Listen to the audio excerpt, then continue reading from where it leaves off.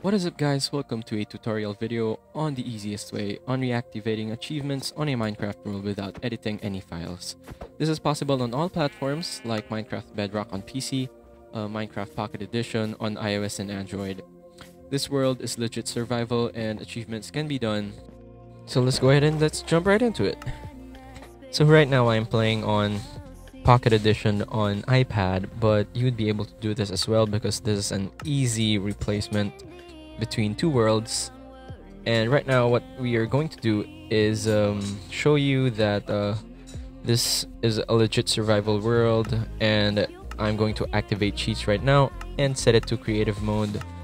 And then we are going to be playing the world because I want to show you that we are we just legitimately converted this legit survival world into a creative world and right now um, achievements now cannot be earned but don't worry um, because what happened to me is that I made this exact um, legit survival world but I accidentally changed it to creative mode. But right now we are going to exit and be sure to remember the thumbnail that you leave it because you need to determine the file of the world. And next is um, as you can see I am looking at the thumbnail and setting it to survival and turning off cheats and uh, achievements still can be earned of course and what we need next is the seed of this world uh, you need to create a new world name it whatever you want but um, remember that the seed is essential. Now, if I remember it correctly. Okay, right there. You need to take note that this is very important. This is an essential step because this is because of a problem that I encountered but solved, which is a different world loading in chunks I haven't explored, so it became very crappy and very corrupted. So Next is that you need to remember the thumbnail of this world as well. So we will set it right here and exit the world. And now looking at the world we created, this is the same world as you can see, but achievements can be earned but without my progress. What we need to do next is uh, exit Minecraft, um, remove it from the recent apps, then go to files,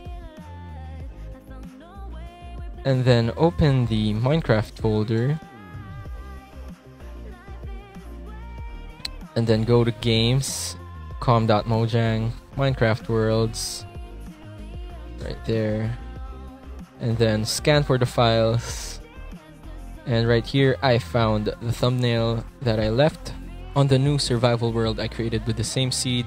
What we do is copy the level.dat on that legit survival world. And remember with the same seed Go to the world you want to reactivate achievements in, delete the level.dat, and now it is solved. You load Minecraft, and as you can see,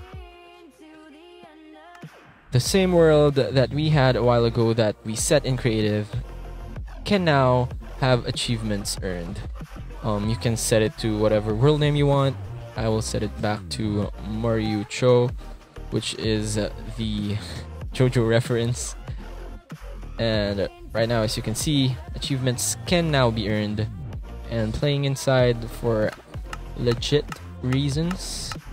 And I will show you that it can be deactivated again. But yeah, that's it basically for you guys. And uh, this channel is basically dead, and I just remembered something that I wanted to share um, because I had trouble um, with this glitch or bug that I found. And thank you guys, and hope you subscribe if you want. See ya.